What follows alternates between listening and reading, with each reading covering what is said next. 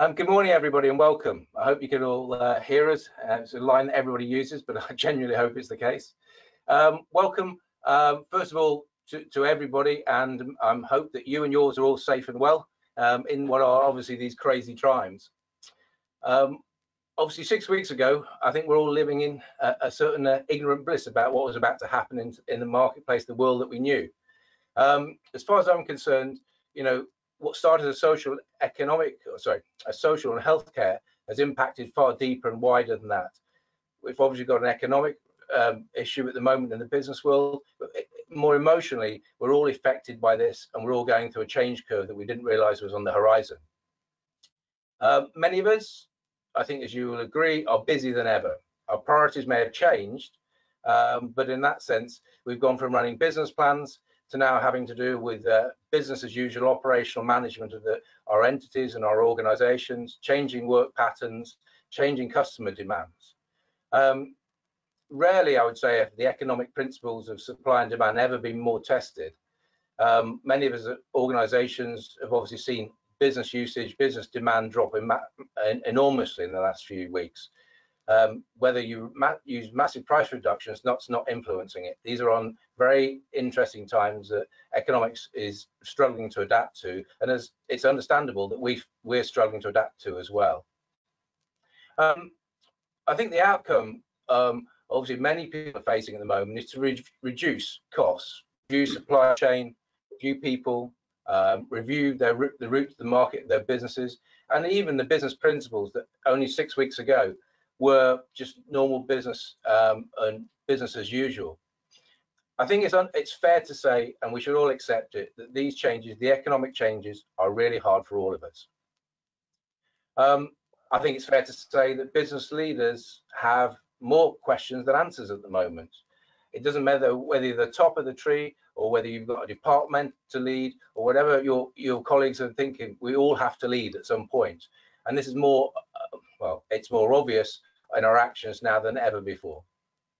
Um, I think we're all under pressure to make decisions, but we have to remain long-sighted, I think is the right phrase to use. We have to see that there is a horizon. We have to think that we're going to go over the peak of COVID at some point, and then there is going to be view on the other side. We've got to think that what we're tackling it ourselves, we need to take our team with us, and we have to deal with the issues of management. We can't avoid them. Um, yes, there are sectors that are experiencing um, stronger demand than others. I'm sure we've all heard it on the news and the press, whether it be pharmaceuticals, uh, medical technologies, uh, telecoms, some of the education, learning platforms uh, online are changing dramatically at the moment. So it, this is something that, whilst the majority affected, um, it really is about the sector that you're in and how you were able to cope and deal with it.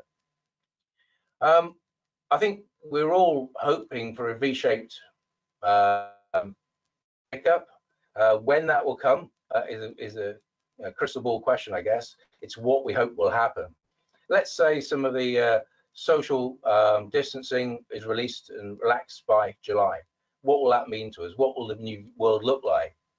I think we also have to reference the fact that I think and have to prepare ourselves for the fact that um, this will be a lockdown long in many ways longer than we've ever known. And what I'm trying to say is that if you look at the German government, I saw last was it yesterday, the day before, they actually cancelled Oktoberfest because the social responsibility and the fact there should be no public gatherings. They're looking at October. Uh, we need to see that as potentially on our horizon that we're looking into the autumn before there is a, a and past the autumn before there's a normality movement and again. It's just the reality of what we're seeing we've got to accept that without a vaccination, we have a public responsibility to manage health in the UK um, and obviously anywhere else in the world. Um, but without that vaccination, we're going to be living with coronavirus, and that means living carefully. And also that means living remotely, perhaps. It means living in a, uh, and with different communication techniques. But equally, uh, the business agendas will still maintain we will have expectations of what a good business looks like and how we can improve things. So whilst we deal with the impact in the first few weeks, we then have to get to business as usual, and then we have to get new business plans to move forward. And so, you know, whilst we've all felt the shock of COVID, we're now living through what I would say is the aftershock, the ripples, the, the, the, the, what difference does that make? What does the new world look like? So we've got to take that responsibility on ourselves. Um, personally, with Savants, um, four years ago, um, we were literally four years old in January. You know, um, all great plans, five-year business plans, and all that sort of thing. Wow, what an impact that's happened in the last six weeks. We've had to deal with the speed of it, uh, of the COVID impact, the cultural changes. We're all working from home for obviously, and we communicate with each other. Um, we've obviously accelerated and adopted a greater use of technology, um, and had to also understand that many of our stopped recruiting or change recruitment techniques and what they're looking for at this point in time. But because we're quite a, a mature consultant experience in the business, we're able to consult and help people through that change period. Um, you know, so all I'm saying is, as a business, we everyone's going through it together.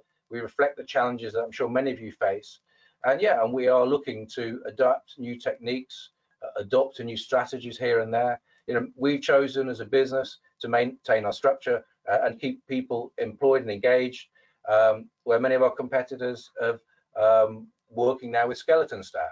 We think if we invest in the market, we can get some opportunity to work and get better, closer relationships with our customers. But equally, I think that's a lot of this is about the team and the people we've got in the team and their mental health, our opportunity, how we work together, and the confidence that they give us as a business. And I'm sure that's some of the things that you see in your own organizations. So really, this leads me into leading through change, and obviously the topic for today. Um, most importantly, we've got to lead our colleagues and our teams through change.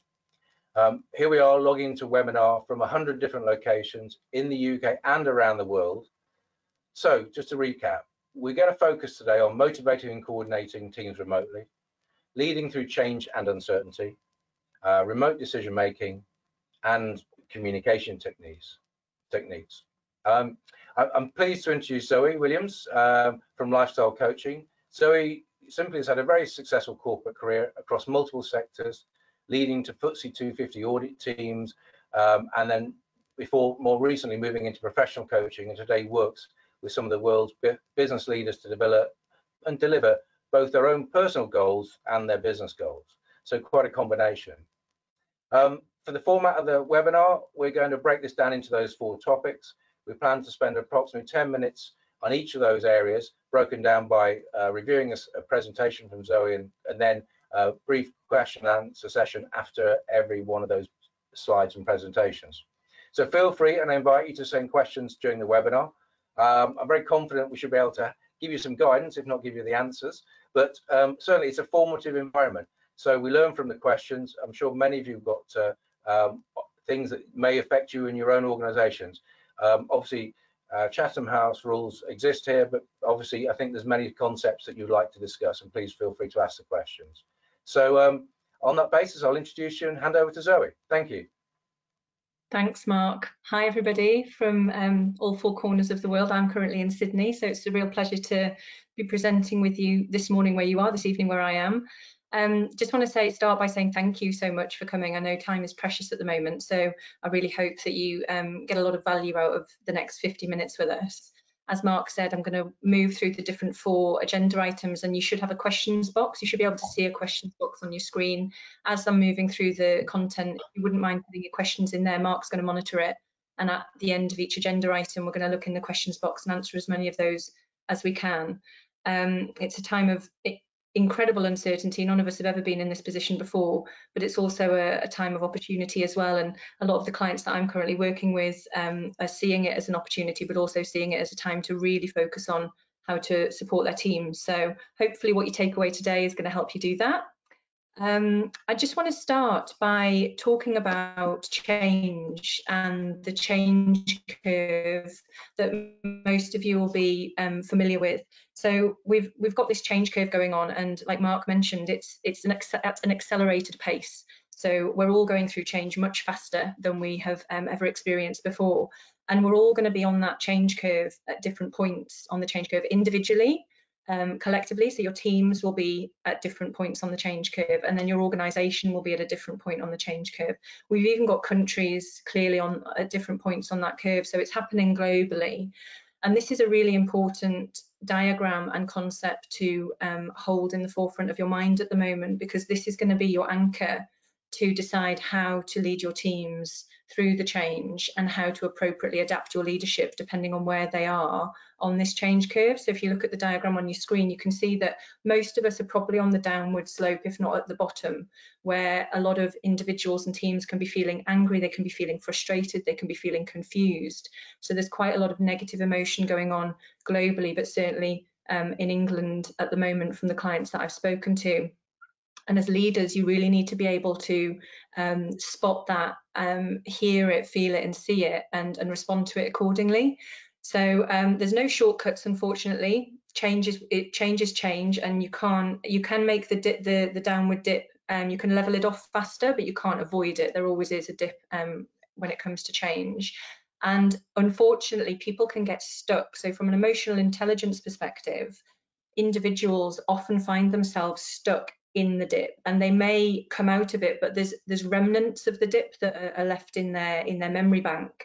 And they will take that forward into the cultural fabric of your organization if that um, experience has isn't processed for them. So it's really important as leaders that you try and spot where people may be stuck um, in fear or in anxiety. A lot of the organisations that I work with, where I work with big leadership teams of 50, 60, 70 people, the reason they're not performing is because something happened many years ago that a lot of them haven't forgotten and they're carrying the war wounds of that experience. So this is that type of incident. It's normally um, something to do with a health and safety incident or, you know, it's usually a big incident. This is that type of incident where as leaders we need to be very sensitive to the fact that people may find themselves stuck at the bottom of that dip. So you need to know how to move your organisations through this and look to the future. So that's what I'm hopefully going to um, provide you with today. So the first agenda item that I'd like to talk to you about is communication and emotional intelligence. And it's just to move on from that um, change curve and talk about how people listen. Because often as leaders, we think when we're communicating, it's what we're saying that's the most important, but actually it's how that information is being received. And depending on where your teams are on this curve will depend on how they're receiving the information that you're, you're sharing with them. So it's really, really important that as a leader, you um, listen out for where are they on the change curve and how is that going to influence their listening. At the moment people are listening through the filter of fear anxiety and uncertainty. And that's a, a very primal place to be. Survival is very primal. It's amygdala at the back of our brain is being fired. The nervous system is heightened. So they'll be listening for and um, in, listening for is my job at risk or listening for is the company going to survive or they'll be listening for danger they'll be listening for signs of uncertainty and that's that's not that's a subconscious process that's going on so as leaders it's really important that you um, adapt your communication so that you can reassure those that are feeling anxious. So anybody that's anxious wants to be reassured. Anyone that's afraid um, wants to know more facts um, people who are in uncertainty, they want to know about the future. So they want you to present them with a vision for the future to, to calm that anxiety down. So how are your teams listening? Where are they on this curve? And how will that be affecting the filters that they're receiving your information through? Now, the next thing that I want to share with you is about integrity. So leaders, uh, to become a leader, you have to have enormous amounts of integrity and you will know that you're under the microscope with your teams normally anyway, much as we don't like it. Um, so they're watching us and they're listening to us. And at the moment, they're really watching us and really listening to us. So it's really important that you have um, integrity around what you say and what you're doing. Um, does your behavior line up with what you're saying or if you're asking people to be calm and um, collected are you being calm and collected at the same time so it's really important to maintain your integrity they're going to be looking for signs of danger. So the, the best that you can do at reassuring your teams, um, the better. Adapt your communication to the listening filters and also don't over-identify with what's happening. So we tend to have a tendency um, when things, when we're in crisis, to over make it mean something about us, over-identify with it. It's really important that you try not to do that. Um, that can, again, have your teams feel more insecure because they they might feel that you're thinking about yourself rather than them and then the trust gets um, diminished and eroded so as a recap on communication, it's really important that you maintain your integrity. It's really important that to reassure people there's still a vision for the future, and you do have to be you do have to be real about it. You know, obviously we don't know what the future holds, but to have some kind of vision and some kind of commitment to making sure that the organisation comes out of this um, the best way that they can. And you really need to tap into how your teams are listening to you and where they are on that curve. And you might have individuals who are a bit more resilient. So this is about emotional resilience. And if you've got people in your teams who are further ahead on the curve than others how can you encourage them to support the ones who maybe are struggling? So you definitely don't want people to get stuck in covid-19 sort of terror as i'm calling it with my clients. Um, Mark, do you want to add anything to that? Do you want to build, or are there any questions that have come in? Well, I was going to say, um, certainly a couple of comments there. I think the point about denial, I think people going through that change curve can be in denial about what's happening around them and want to hold on, yeah, understandably, to what was only a short period of time ago the, the norm, um, on the hope that we're going to go back to that. But I'm, I think on the horizon is that we're not going to be the same. We're going to change, and we have to work a way to adapt to that change and adopt it. Um, and I think the other point I'd make would be that on that change curve, um, people can move along it and back forward and backwards on it, depending on the circumstances and what happens. It's not one case of, okay, it, we've got that piece of change in. Every time you do some change, you're gonna people are gonna go back on that curve again, and you're gonna have to almost replot where they are on that journey to accept it. Um, and I think that's really important because people will move back. You know, will, may accept some parts of it, doesn't affect them that much, but another thing really affects them very much, very well, a greater extent personally. Yeah. And we haven't got any particular questions at the moment. So um, unless there's any other comments, do you want to move on to the next topic or the next yeah. area? Next Everyone must be saving all their questions at the end. It just makes perfect sense, right? there, if there are any questions, please send them through because, um, yeah, be happy to answer them. So decision making. So after communication, you've got decision making. Emotions drive decision making. Again, this is why emotional intelligence is so important.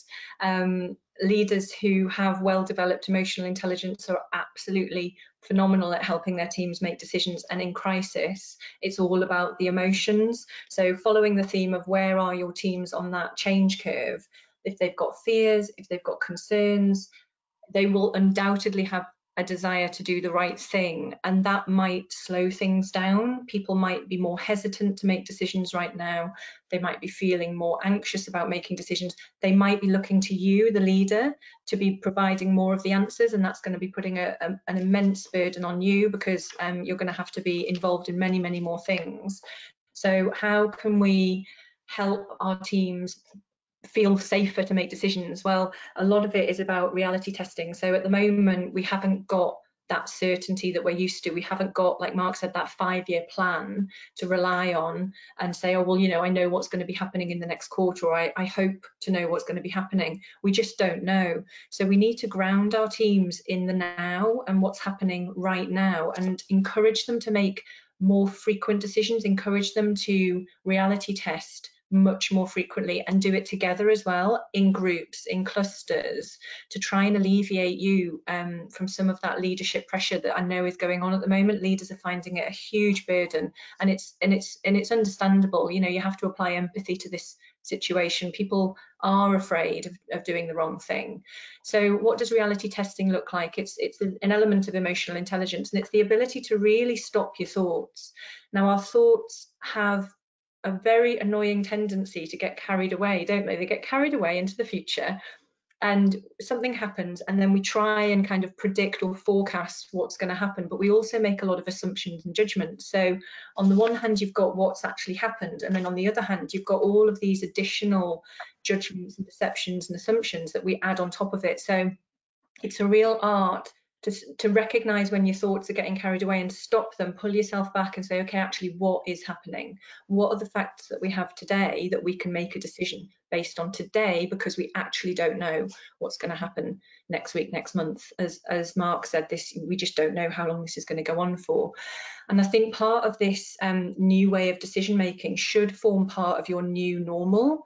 And again, to, to sort of build on what Mark said, there are lots of people still using the language when we get back to normal. And I think it's really important that leaders try and shift that dialogue away from getting back to any kind of normal and creating a new normal because I don't honestly believe that there'll be a normal to go back to. It's just what can we create new and how can we make sure that our businesses are still able to succeed and thrive in this new way of working should it go on for you know years. Um goodness hopes not but it, you know it might be the case. So reality testing and creating a new normal is really important um, another thing to consider is when we're in survival mode, which a lot of our teams are, that amygdala that I mentioned, that part of their brain which is about survival and fight or flight, will be increasing people's impulse, impulsivity.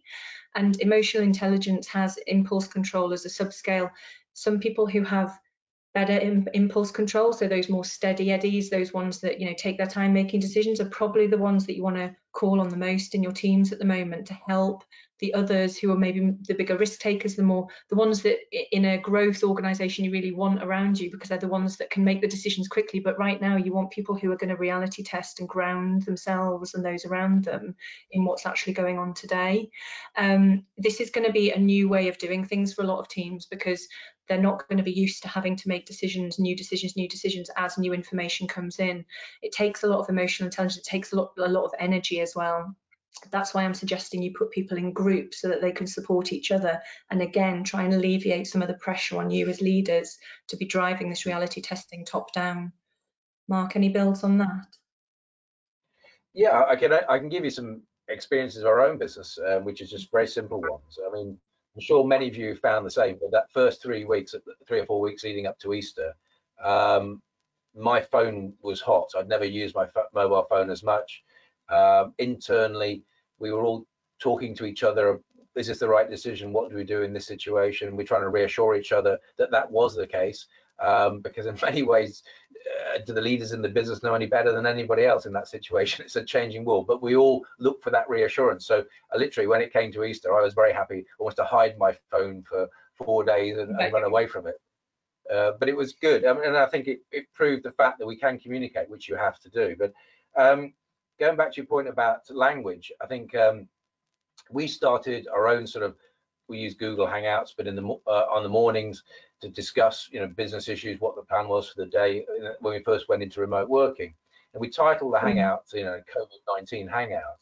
After a couple of weeks, we suddenly realised that this is ridiculous because this is the new norm. So it's now just business as usual. We titled it business as usual just to change the concept for people to understand this is what we've got to do. This is the new norm um, subtle things, but it makes that way. Uh, and finally, your uh, your point about groups.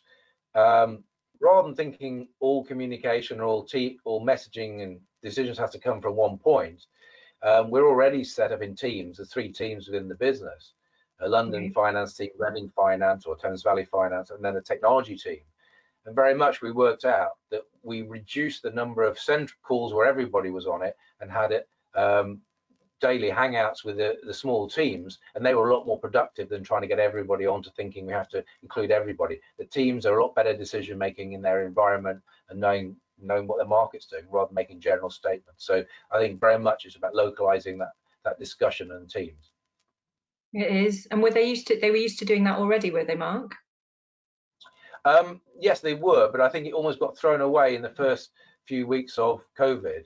Um, and I think in that sense, you know, it uh, was something that we, we didn't mean to, to, to, disrupt, but it was one of those things that I think we thought we all had, we're all in it together, we'll do everything together. But then you realize the nuances of different teams, different markets, different personal situations, you know, they're mm. better tackled smaller meetings.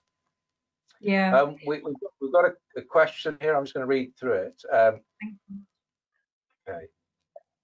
Working as part of an agile project team, I find that there is a level daily communications that regularly enables the team members to voice concerns and thereby provides the opportunity for the team to be understanding of the members' issues, um, both work and in their home lives. Totally agree. Mm -hmm. um, do you have a view on how tight teams provide this self-governance?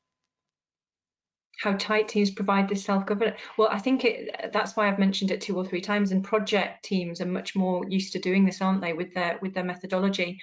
But i think it's mm. really important and i was going to come on to it in the remote working so we'll just talk about it now. Leaders really need to let go and they really need to empower their teams and that's a really great example of how empowering your teams to self lead can really make a difference because they do need to be talking daily on a regular basis? Because if you think about what we what we were all doing six months ago most of us were either in an office or if we weren't in an office we were working with customers clients. We were doing a lot of face-to-face -face interacting and that's all gone. And it's not the same on a screen. I mean i i I'm, I'm getting used to this but it's not the same is it? From an emotional intelligence perspective you can't really feel the other person. You can't really read them as well as you you can face to face so it's really important that those communication touch points are encouraged and set up and enabled so um, who was that comment from, Mark? Who was that question from? I don't know. It's anon oh. all anonymous. anonymous. Whoever that was, brilliant, great. Encourage it outside of your project teams as well if you can, and encourage it across the business. Because when we come on to remote working, the next agenda item, I'm going to talk about what how people's behaviour has actually shifted, and as leaders, we need to do something about it to encourage what you've just said works, which is these huddles, these groups. Yeah. Okay. All right. Good. Any other questions on decision making? Raise your hand. Not like being in a room with people, is it? It's funny. okay, let's we'll move on to the next topic then. Right, this remote working. Um, so I notice I haven't, uh, language is really important. I haven't used coronavirus or COVID-19 or anything in this presentation because I think this is really about just creating a new normal. It's, you know, we're not, it, it, it's not going to go away quickly. So the language and the dialogue that we use is really, really relevant. So remote working, people are working more so much more. All my clients, all of their teams, all of my friends and all of my family are telling me that their diary is now more full with meetings than it ever has been, and people are working more hours. Now, this just doesn't make sense from a well-being perspective, and it doesn't make sense from a. If we look at that curve again, it doesn't make sense to help people come out of the dip it's going to drive it's going to this is one of the things that is going to make your um, low point in the dip lower for sure. So i think what's going on after i've asked a few people and and spoken with a few teams of my clients i think what's going on is there's a number of things but the anxiety that people are feeling and the fear that they're feeling around their job security is meaning that people are um, feeling like they should be showing up more, they should be more visible. So if their diary is full or if they're on video calls or if they're attending more meetings, it's kind of reassuring themselves that they're, oh, you know, I'm visible and I'm seen. So if your teams are doing that, please, please, please encourage them to know that they are being tr they're trusted they're trusted to deliver what they need to deliver and they don't need to feel anxious about visibility um, we'll come on to that a bit more later but the other reasons that i think people are doing this I think it's also um, that lack of connection. So people are feeling, you know, at home in their home office, like I've, you know, I've got here, it's an empty room. So there's that need and that desire to connect with people still, which they're not getting. They're not getting the water cooler conversations. They're not getting the the coffee break, uh, you know, mid morning to go and have a chat with their colleagues. So there's two things going on here, and it's and it's mostly driven from human, you know, behavioural needs. It's fear or it's a need to connect. Now, this is not going to work for organisations at all because what we've also got on top of that is most people who have children have got those children at home with them. Most people who have children and work would normally have support from say grandparents or um, brothers and sisters which they can't receive now because we're all um, in lockdown so we've got this added pressure where people have got their children at home or if they're single they're on their own and isolated um, so there's all of this going on, which means remote working as leaders, we have to be really, really um, concerned about employee well-being. And it must be if it's not in your top three priorities at the moment please please put it in your top three. Because how people come out of this change curve is going to depend on how they've been helped and supported through this time. So despite our instinct signaling us to do the opposite because um, you know historically leadership style is traditionally hub and spoke where we, we like to control things and we like to have a lot of visibility. I can't say enough trust trust and trust some more. Now is the time to trust your teams and now is the time to um, show them that they are trusted and they are valued by saying to them look we're going to put some boundaries in place so remote working boundaries, really, really important. And this goes back to slide one where I said about integrity. So if you're asking your teams to have boundaries in place around their working hours, please honour these boundaries yourself as well as a leader. You must show up doing what you're asking your teams to do. And there's a degree, there's an opportunity here. So there's an opportunity to be really flexible, there's an opportunity to be innovative. I know one of my clients, they're getting up early before the kids get up and they're doing a couple of hours of work and they're even having calls with their team. So they've all agreed as a team, right, we're going to get up at six and we're going to do a couple of hours and then we're going to, you know, get the kids up, get them ready for their homeschooling and have breakfast and then we're going to come back online at 9 or 9.30 and they're making their working patterns work for them at home as well. So try and be innovative, try and ask your teams what's working, what's not working. And if you notice that somebody is online a lot, attending a lot of meetings, just have a little one one-on-one with them and ask them, you know, what's going on? Do you really need to attend all of these? And who's looking after your kids? And are you getting any downtime? Because a lot of people are working 12-hour days now. It's so easy because they're at home to just be logged on and just be going back and forward to their computer to their machine and it really isn't sustainable um, going back to the group um, support theory have people hold each other accountable so again i can't encourage you enough as leaders to have people supporting each other in small huddles um, three or four people maximum so that they can really feel safe to express what's going on for them, really share um, both personal and professional concerns and fears, and have people help each other through that change curve. Um, like I said, maintain your integrity, and then this reality testing has to come in. So, reality test the working routine and decision making. Check on a regular basis: is this working? What's happening? What can I see? And what are my team experiencing? um, you've really got to empower them. Like now is the time to empower people. And I don't know if anybody's seen this, but if you haven't, please look it up. So um, I've got to look up his name. Kevin Johnson, the Starbucks CEO, sent an open letter to his employees recently, and it was Uh, it's just uh, I, I, personally think it's a really great approach. So he has said look i don't know when to open stores. I don't know what order to open them in and i don't know how to reopen the stores. He's empowered people at a local level so the store managers to make that decision based on interactions with their local councils and interactions with their customers to decide how to open and when to open. So he's basically empowered his entire workforce to pull the entire organization out of this change curve. Now that that is just inspired and so emotionally intelligent because he's had to let go. It's a it's a risky thing to do. I mean, they they must be putting controls in place to monitor it. But at the same time, the people who are running those businesses must feel incredibly optimistic and empowered about the future that they are now in charge of and in control of. So they're being told that you're actually responsible for your own future.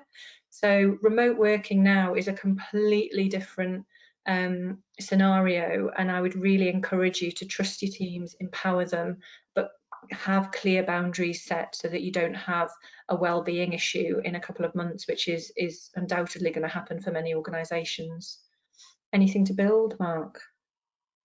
A couple of comments that I've, um, yeah, I think your point about structure and boundaries is really important because um, it's very easy to respond to things we, during the day and not actually achieve what you need to achieve. And I, I think that's getting a regular work pattern again together. Um, yeah. Uh, and I think part of organize, you know, work, as I mentioned earlier, maybe working in teams and things like that, that gives you some structure to that day and having a certain things where you know you're going to, your colleagues are going to be working at the same time as yourself. Um, there's definitely some flexibility with hours. Um, I know again, um, a number of our team in Savant, you know, have young families. There's now two parents working from home at the same time, so they're going to have to do a certain amount of sharing and, and load management on that basis. So, being, offering that flexibility and understanding that. Also, I think um, home working environments are really. You mentioned obviously your, the room you're working from there. The same here for me. I'm lucky to have this facility. Many people don't. Um, so I think it's really important to try and create a time when you can have, you know, you create an environment in the house, the home, whatever the scenario is, uh, to it to support that. Um, and uh, yeah, I think that's something that's really, really critical to be able to clear. It's not possible sometimes to unclutter the space, but to make it an environment while you're working in it that feels like an office and a work environment or a, a, a quiet environment. Yeah, and that's that's a really good point actually, because the, the boundaries thing isn't just around between sort of employer and employee. I think we need to encourage our employees to have um, boundaries at home as well. Um, you know, especially if there's two people working in the same in the same home, and how how does that how is that coordinated with the the family dynamic and you know because there's a lot of relationships that will be under strain at the moment as well, not just in the workplace, but also um, people having to share that that additional responsibility at home. So there'll be a lot there'll be a lot going on for people that maybe isn't being spoken about. and it's um, really important that lead don't don't get nosy obviously if people don't want to talk about it they won't but just inquire there's a way to inquire around these things that makes people feel safe to share and uh, maybe people are just a little bit afraid to ask for flexibility you never know they might think you know if i ask for flexibility am i possibly going to you know be at risk of losing my job because there are a lot of people that are scared about losing their jobs at the moment yeah absolutely there are um, i think we'll um, there aren't any other questions at the moment that I can see. Um, is there anything from your end there? I can't. You can see anything there? No, no. So we'll plow on. Yep. Okay. Cool. So the final piece of the agenda. So leading through uncertainty.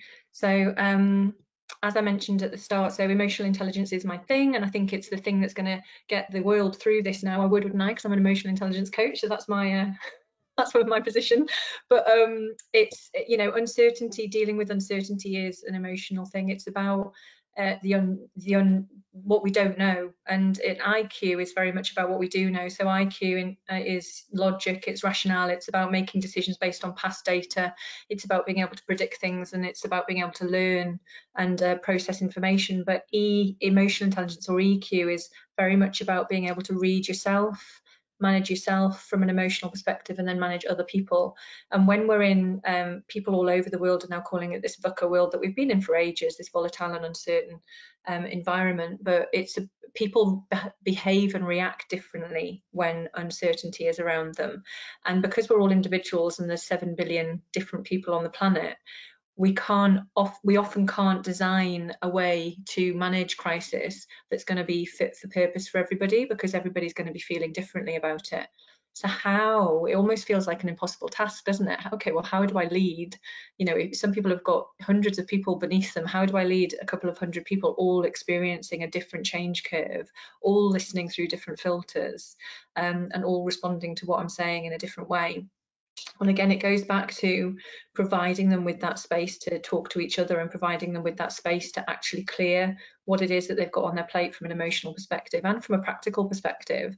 And they're not always going to want to share that with their with their leadership um, member, and they're not always going to want to share it with their with their peers either. So it's about providing as many different options as possible, not shoehorning them into one. You know, you've got one chance a week to what's going on and then that's it. You've got to provide people with a variety of options to be able to process this so that it suits as many different people as possible.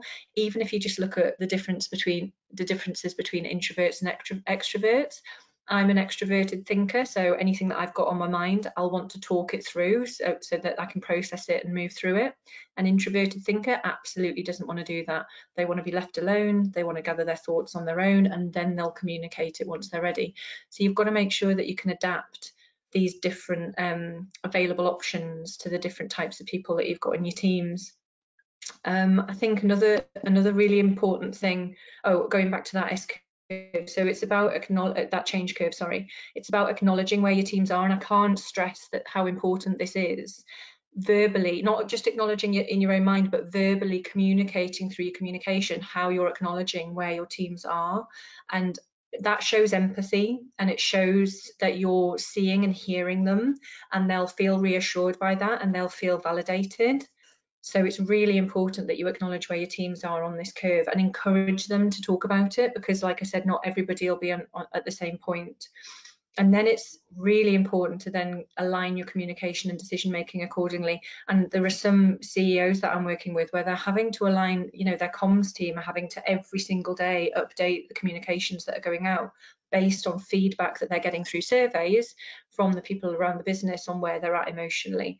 So they're taking that feedback in and then they're updating their communication strategy accordingly. So it is more work and it is more effort, but it will benefit you in the long term.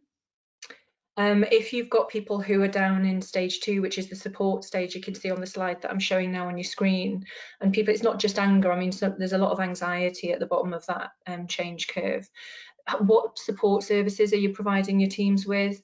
We do all um, tend to have, you know, the um, support systems in place anyway, but is there anything else that you can put in place? Like, can you get a coach for your teams or can you get some specific one-on-one -on -one support for individuals who are who are struggling. That's another thing that I'm experiencing at the moment is a lot of requests to do one-on-one -on -one support for just those individuals who maybe for whatever reason have got less resilience and they're stuck at the bottom of that change curve because again you want to come out of this um, as quickly as possible but with as, as little um, with everybody with you. You don't want to leave anybody behind.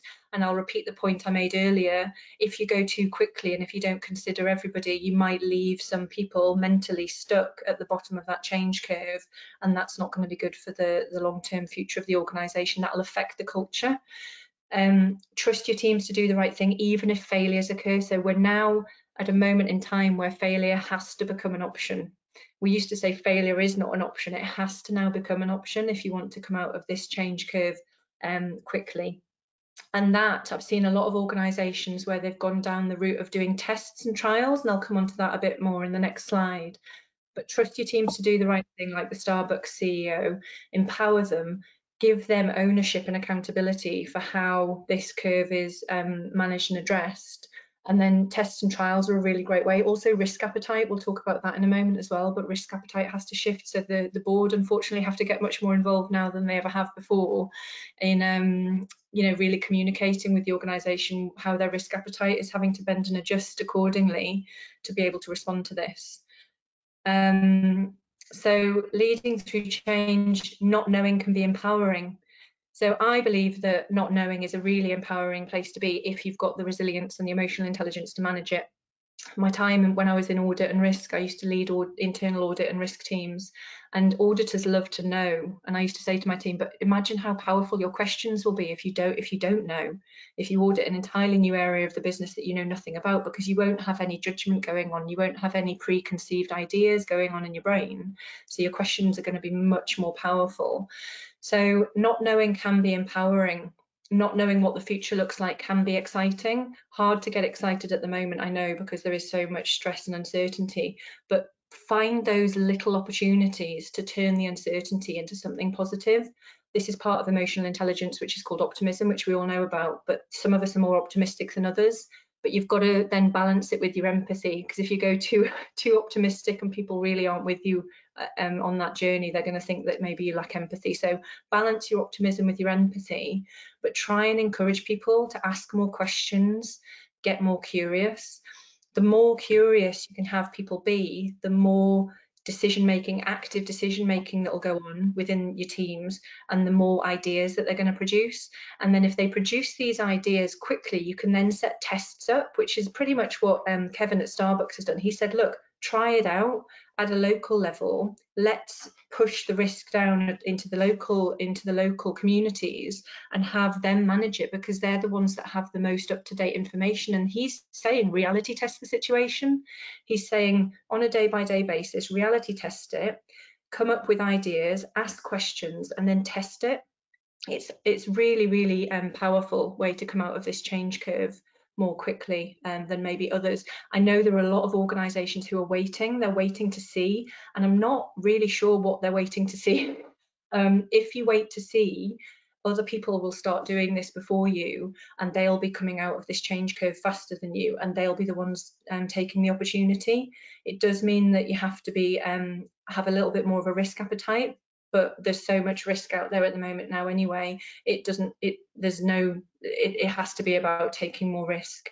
Um, boundaries so we've spoken about boundaries from a remote working perspective but i think boundaries around tests and questions and ideas are really important and that links to the risk thing. You can't be taking risks that are going to you know damage even do even more damage to the organization. So you have to have clear boundaries and that's why board top down and then operational bottom up feedback loops are really, really important, which then leads me on to E, communication. So how can you set up communication um, pathways that mean you can get the feedback that you need in the moment to then be able to set the right boundaries around the ideas and the tests to have the best outcome.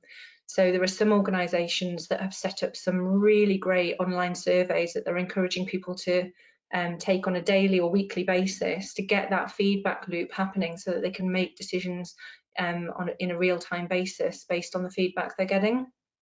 And then, of course, We've spoken about trust. Trust is so important. There's a formula for trust that I am. Um, I do a whole presentation on trust um, sometimes, which might sound a bit long, but it's a it's a really important area for leadership. And um, two of the areas most important in trust is about intimacy. So how can you create that intimacy with your teams? How can you create that human aspect of yourself? Um, working from home and having your kids break into your um, home office while you're halfway through a, a, video call is possibly one of the best things that can happen to you. I know it might feel mortifying as it happens, but people want to know that we're all human beings, and this is one. Um, this situation is making us more human. It's you know I was having a video call with an HR director last week, and she had um, a bookcase behind her, and it had Lego um, like Lego statues on it. And she said, Oh, yeah, I'm having to do this call from my son's bedroom because my husband's using the study. And she just immediately became more of a human being. So trust and and showing yourself a little bit more so that people can can trust you remotely and and believe in what you're saying. And then there's the autonomy piece, which I know a lot of organizations already have, but I'd encourage you to really go for it and really empower people because that'll make them feel safer, it'll make them feel less afraid, it'll make it'll tap into their courage. So you want to lift them from a consciousness level. There's a consciousness table that we can move up and down and you want to lift them out of fear and anxiety and into courage. And then ultimately after courage they'll start getting ideas and they'll be free thinking and that change curve you'll start to see um, a shift in momentum anything to build mark i think the theme for this session area for me is just a different uh, communication styles or um, styles of how people process information. Um, mm. We have to be aware of that. I mean, um, many of us maybe on this call have had some sort of a psychometric testing in, in a business environment before, uh, whether it be Myers-Briggs or whatever. When you understand how different we all are, and it might not seem that on the surface, on the face of it, but how we uh, basically uh, process information is as simple as that, and how we react to it, how we show that physically or present it verbally. And it's really important that we need to understand that a reaction from one person can be very different physically, particularly on a, a, video conference, and it might be at the moment to another person. Is it really understand? Do you really get to grips with what that person's thinking um, by face-to-face -face communication? You need to have give them other vehicles, other ways to communicate to you. You really do. And I think I've heard a lot of organisations where people are coming onto video conference and they're not putting their video on for whatever reason, because not everyone likes it. But again, I'd really encourage leaders to get to the root cause of that because it's really important that people can see each other because that yeah. is part of the feedback loop.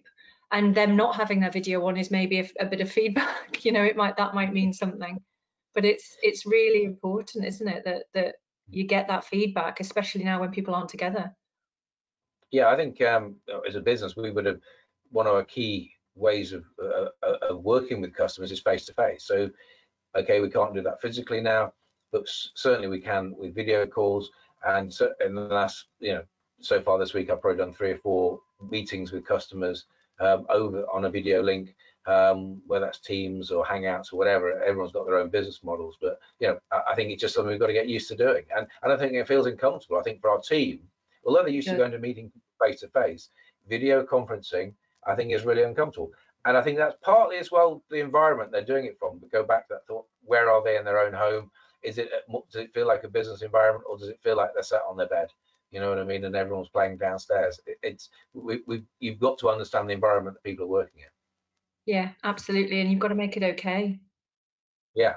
So we have a few questions. Um, so um, and I've worked out how to use the question thing a bit better now, so that's all right. Um, so we've got Nitin has asked, what alternative to coffee breaks, uh, team, uh, uh, um, team meetings are there in remote working? Well, I've, yeah, great question. And I mean, you can go as conservative or as wacky as you like with this. So I've got one team who are doing um, the Joe Wicks morning workout routine together and they're all switching their Zoom cameras on and they're all doing a workout together. I mean, that's one of the more extreme examples, but you can actually schedule coffee breaks. So I, um, because I now live in Sydney, but I used to live in London, I actually scheduled, before this all happened, I was having to schedule um, coffee catch-ups with my best friends back home over Zoom anyway. And we were doing it as a social thing and we were doing it, you know, to, to make sure that we stayed connected. So I would encourage you to, to put those moments in your diary and this yeah. it goes back the, it goes back to the whole everyone's remote working and feeling like they're having to cram their diary full of productive zoom meetings. Have eh, being connected is productive. So give yourself permission to connect. Give yourself permission to have a cup of coffee over Zoom for half an hour with the lady or the man that you used to sit next to. Give your teams permission to do that and make sure it forms at least an hour, if not more, of their day where they're just connecting with people because they will be talking about work and they will um, answer questions that wouldn't have been answered ordinarily from doing that, but they'll also just feel normal and you know connected and like they're part of a team what do you think? No, I think you said it all. I think that it is about understanding you still need to operate like that. It's still we're just doing it through a different medium. We've got a few more questions. So um, David has asked, in terms of change, eh, sorry, in terms of the change curve, how would you suggest supporting individuals who are stuck at a low point? Um, so um, I think he's got one person in the team who's stuck on uh, and can drag the rest of the team down rather than he needs to get them moving forward with the rest of the team. Yeah, and this is really important. This is why I've stressed it so many times. If you've just got one person who's stuck, it can impact an entire team. And i've worked with like i said teams of 50 60 where there's one person who can't move on and the whole team's energy is just affected. So first step obviously the first step is for you to uh, as your as the manager to um, have a conversation and see if they'll open up to you. Um, if they won't i mean i've had this happen before pre pre COVID-19 with team members who've got stuck for various reasons. And I have um, encouraged them to actually get a coach or go and see a counsellor or use the employee um, uh, you know the um, independent helpline just to talk through whatever it is but you must acknowledge with them where you think they are. It depends whether they've told you whether they're stuck or whether your observation is that they're stuck as well. So if you're observing it, but you haven't actually had the conversation, without saying to them, I think you're stuck, because that's full of judgment, just um, in the most non-judgmental ways to make them feel safe, just see, see, ask them where they're at and see if they agree with with your perspective without telling them that maybe that's your observation. So you've initially got to get the reality of the situation on the table. And then if they trust you enough and if they feel safe enough to talk to you talk to you. But i i would highly recommend if it's a real problem to have give them support in in the in the form of a coach or um, one-on-one private independent somebody that's not from inside the organization um, to support them. Okay great. Um the next question got one from mike. Can you expand on the balance between being positive and on the other hand being realistic given individual mm. employees are affected in different ways and some will will basically be potentially lose their jobs in the future. Yeah so it's it's it's that reality versus um, hope i guess are the two words that i would use. It's a great question. So um, and also having the reality piece is having people accept that they may or may not be part of that future that you're painting and having people um, not be afraid of it but just you know the reality is not everyone is going to keep their jobs. And i think organizations have to be honest about that because mm-hmm. people know if you're not being honest about something they know they'll talk about it and that will form part of the the sort of the countercultural dialogue that goes on. So be really honest but be really real and just say look we're hopeful about the future. We're hopeful that we don't have to you know go down that track. However the reality is with the information that we've got today and we're now a reality testing organization there's a risk that that might have to happen. And just th this again goes back to that point around in the moment decision making you've got to get people used to the fact that stuff is going to change on a day by day basis and that they have to try mm. and pull themselves back from the future and just deal with the what's what's happening today. And i know that's really hard but if you can create a culture of in the moment reality testing you won't get so much fear and anxiety about the future yeah it's, i think it's that, i was gonna say i think it's that word integrity if you're being yeah. on open as open or, or, as honest certainly as you can be within reason people understand the journey it's the same challenge for everybody nobody knows we've got a few yeah. more questions here so lisa's asked um, a lot of the actions discussed today involve communication calls. How would you suggest we do this effectively to stop meeting fatigue? Uh, meeting fatigue, so you can record videos. Um, yeah. I do that, yeah, so I do that. I'm doing that with my clients at the moment because of the time zone difference. So they're sending me voice notes and I'm then recording a video back as a response um, at a time that's convenient for me or, or recording voice notes to people as well. So on WhatsApp, you can record voice notes, you can send people videos. I would, um, and that's just keep it personal. So many people are relying on emails now, and I would and I understand why because it's quicker and easier, but it's not gonna in the long term. It's not gonna help becoming even more reliant on on emails so if you can send voice notes if you can make a little video that you can then send out to 10 people in your team with an update on something. And then make it fun as well. One of my clients showed me this google thing where you can have a wild animal superimposed in your background. So i don't know whether people are up for that but that's what he's doing with his team and it's bringing a smile to their faces. So hopefully we know we've got the beach just behind you so don't worry that's tomorrow um, um, Daniel's asked a question: How to how sorry how to manage an existing change program, which which maybe requires significant time and challenges when we now have to deal with the meta level of change to work through uh, uh in the current environment.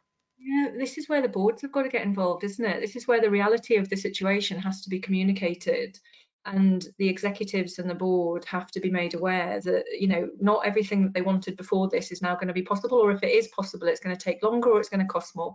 There just has to be real conversations happening and people uh, there's a real challenge for individuals who are um, thank you for the question daniel because this is a real challenge for people because you don't want to let anybody down. You want to fulfill on your commitments.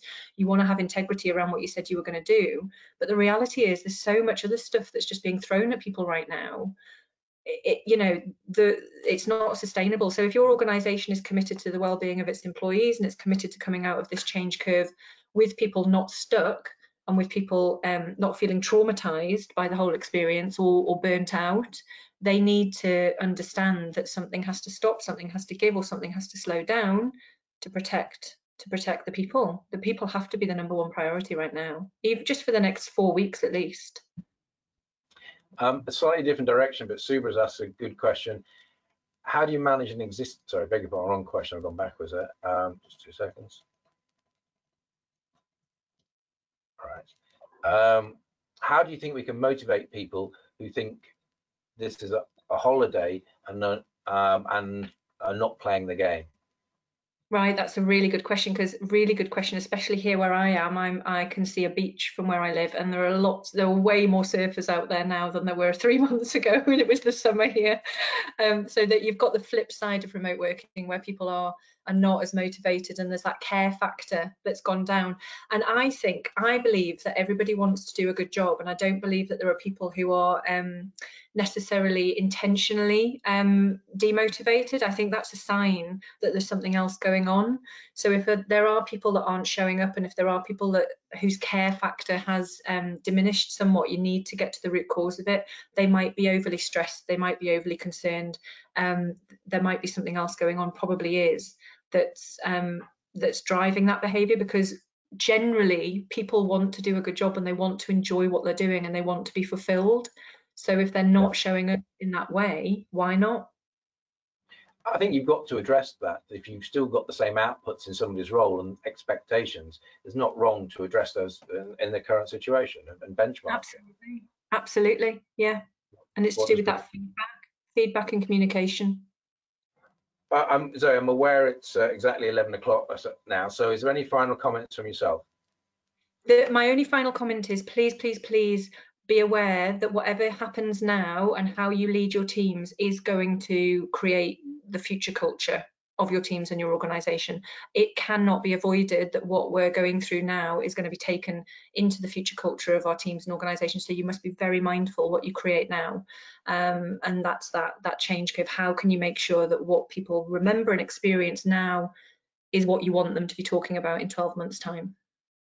Yeah, fantastic. I think that's really true. I mean, my points would be um, it's as leaders, managers, uh, colleagues, we have to we have lots of self-awareness. Uh, we need to have empathy to the challenges at this point but equally at the same time offer a clear direction. Um, we need to respond to the feedback to our communication or the lack of communication or the way it's felt. Um, i think that's it doesn't mean you you doesn't mean that necessarily people are challenging your decisions but they're challenging their understanding and their reasoning and and obviously they're on that change curve.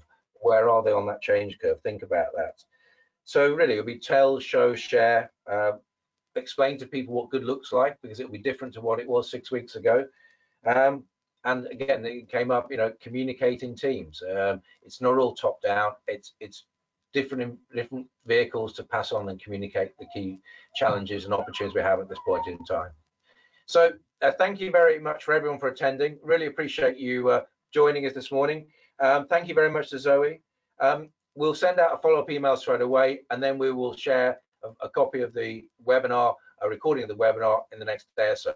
Equally, on the um, follow-up email, I'm going to ask, um, I'm a chair, a vice chair of a charity, and we're looking for donations if people feel that this uh, webinar has been beneficial. Um, we're looking for donations towards that charity. So it's not compulsory, but feel free um, to make donations to the Bright Night in Action for Children charity, who, who uh, I'm a chair with. So uh, thank you very much for your time this morning.